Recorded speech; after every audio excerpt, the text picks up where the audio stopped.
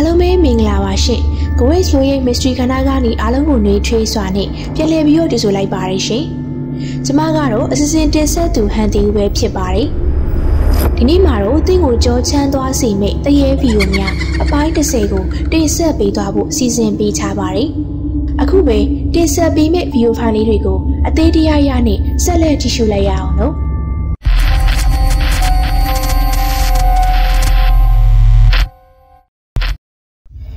နံပါတ်1 get out YouTube user တယောက်ဖြစ်တဲ့ Veronica Shannon က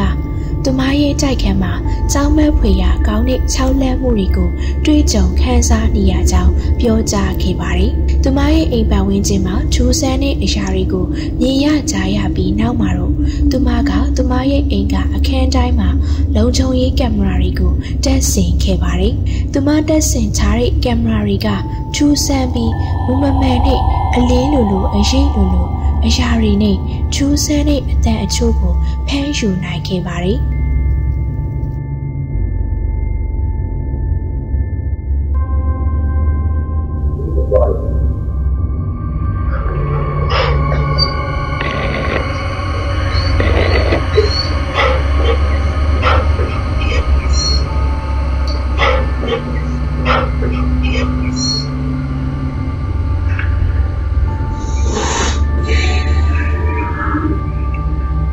နီကာကအဲ့ဒီအဖြစ်အပျက်တွေကိုပို့ပြီးတော့တတိချမိလာပြီးတော့သူမရဲ့တငယ်ချင်းတွေကိုပြောပြခဲ့ပါတယ်။အဲ့ဒီလိုပြောပြပြီးနောက်ပိုင်းမှာတော့ဒီချက်ပို့ပြီးထူးဆန်းပြင်းထန်တဲ့အဖြစ်အပျက်တွေဖြစ်လာခဲ့ပါတယ်။သူမရဲ့သားငယ်နှစ်ယောက်ဟာညစဉ်ညတိုင်း၃နာရီအချိန်လောက်ရောက်ပြီးဆိုရင်ကြောက်လက်တကြားနဲ့နိုးလာတတ်ပြီးတော့အော်ဟင်းငိုကြွေးနေတတ်ပါတယ်။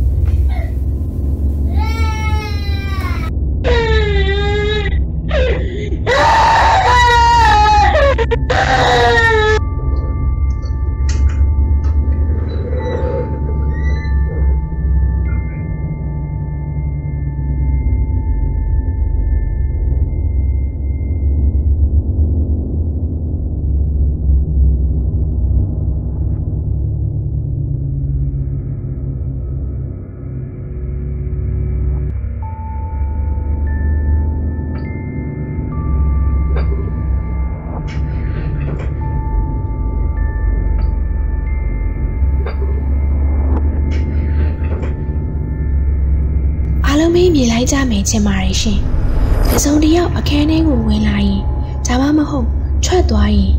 တကားရဲ့အနားမှာစမ်းကြည်တဲ့တရေပုံတဲ့ပုံရိပ်ရှိနေရကိုကင်မရာမှာနှစ်ကြိမ်တိုင်းတိုင်းရိုက်ကူးဖမ်းယူမိထားတာပါ။ကြည့်ရတာတော့အရီဝင်းညင်ကဒီအိမ်ကိုလူစိမ်းဝင်မလာစေခြင်းနဲ့ပုံပါပဲ။ချက်သိမ်းထားစီရကြီးပါ။ တညတော့ဗရိုနီကာနဲ့သူ့ရဲ့အခြားတငယ်ချင်းတယောက်ကအဲ့ဒီထူးဆန်းတဲ့အဖြစ်အပျက်ကိုသူတို့ဘာသာစုံစမ်းဖို့စုံဖြတ်လိုက်ပါတယ် Do you need help? Are you stuck here? Move the camera if you need help. Oh my god. Oh my Are you in the boys' room? Shut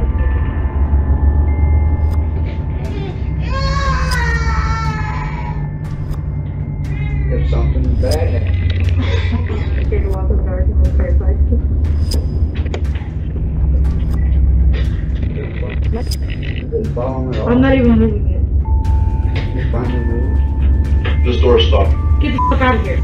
ရှန်နိုရဲ့တငယ်ချင်းကတရေကိုမင်းကလေးရှိရဲ့အခန်းထဲမှာရှိနေရလားလို့မေးလိုက်တဲ့အခါမှာတော့ကလေးကရုတ်တရက်ချငိုတာကြောင့်သူတို့မျက်လုံးပြူးသွားကြပါတယ်။အဲတော့သူတို့ကကလေးရှိရာအခန်းတကားကိုဖွင့်ဖို့အမြန်ပြေးလာတဲ့အခါမှာတော့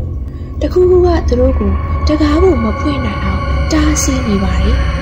သူတို့ကငိုနေတဲ့ကလေးစီကိုတွားဖို့တကားကိုဖျက်ခေးကြရပါတယ်။တော်တော်လေးတော့ကြောက်စီရပါနော်။အခုလိုမျိုးထူးဆန်းပြီးတော့ကြောက်စရာကောင်းတဲ့ဗရိုနီကာရဲ့ဗီဒီယိုလေးတွေကိုကြည့်ရှုချင်နေဆိုရင်တော့သူရဲ့ Veronica Channel YouTube Channel မှာတွားရောက်ကြည့်ရှုနိုင်ပါတယ်။ဗီဒီယိုလေးတွေကိုမစတင်ခင်မှာအရင်ဦးဆုံးပရိသတ်တို့အားလုံးကိုသတင်းကောင်းပိုင်းစာလေးတစ်ခုရှိပါတယ် အဲ့ဒါကတော့အကေးမြပရိသတ်တို့မှာတစီတရေတွေနဲ့ပတ်သက်လို့ကြုံတွေ့ခဲ့ဘူးတဲ့အဖြစ်အပျက်အကြောင်းအရာလေးတွေတစီတရေတွေကိုရိုက်ကူးမိချတဲ့ဗီဒီယိုဖိုင်လေးတွေရှိခဲ့ရင်ပဲဖြစ်ဖြစ်ဒါမှမဟုတ်ကိုရှာတွေ့ချတဲ့ကိုတင်ဆက်စီခြင်းနဲ့တစီတရေဗီဒီယိုဖိုင်လေးတွေအကြောင်းအရာလေးတွေကိုအကြံပြုပေးပို့ခြင်းရင်ပဲဖြစ်ဖြစ်ကျမတို့ရဲ့စီတူ .goexpo@gmail.com ကိုလာရောက်ပေးပို့နိုင်ပါတယ်ဆိုတဲ့အကြောင်းလေးပဲဖြစ်ပါတယ်။နံပါတ်2 an invited house guest ဆန်ကားလအရွယ်သားရှိသေးတဲ့သမီးလေးတယောက်ကိုပိုင်ဆိုင်ထားတဲ့ဂျာရှူဝါဟေဂန်စ်နဲ့ဟေတာဘရက်ဖဲလို့ခေါ်တဲ့လင်မယားနှစ်ယောက်ဟာသူတို့ရဲ့ကုန်းပြင်မှာဆောက်လုပ်ထားတဲ့မီရှီဂန်အင်ကြီးကတရေ၆တယ်လို့ပြောပြခဲ့ပါတယ်။သူတို့ပြောတာကတော့အဲ့ဒီအိမ်ကြီးမှာညအချိန်ဆိုရင် ကွက်ကွက်ပြပြမပြောပြနိုင်တဲ့လေကားမှအကျက်အစင်ပြုလုပ်နေတဲ့ခြေတံတွေနဲ့ဒေါသထွက်နေတဲ့ယောက်ျားတစ်ယောက်ရဲ့အော်ဟိရှိမောတန်တွေကြားရတယ်လို့ဆိုပါတယ်။ဒါအပြင်အဲ့ဒီအိမ်ကြီးမှာနေကြတဲ့သူတို့လင်မယားနှစ်ယောက်ကကျောင်းမဖွေရအဖြစ်တွေဟာဒီမာရင်ရက်မသွားဘူးလို့ပြောခဲ့ပါတယ်။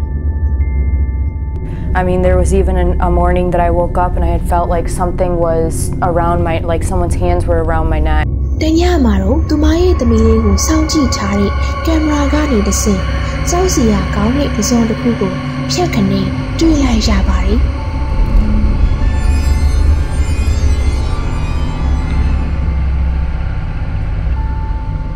ဟေတာဟာချက်ချင်းပဲအပေါ်ချက်ကိုပြေးတက်သွားခဲ့ပါတယ် I freaked out. I stopped what I was doing and I ran upstairs and I grabbed my daughter. ။ပြီးတော့သူမဟာ သမီးဖြစ်သူရဲ့မျက်နှာကိုကြည့်လိုက်မိရဲ့အခါမှာတော့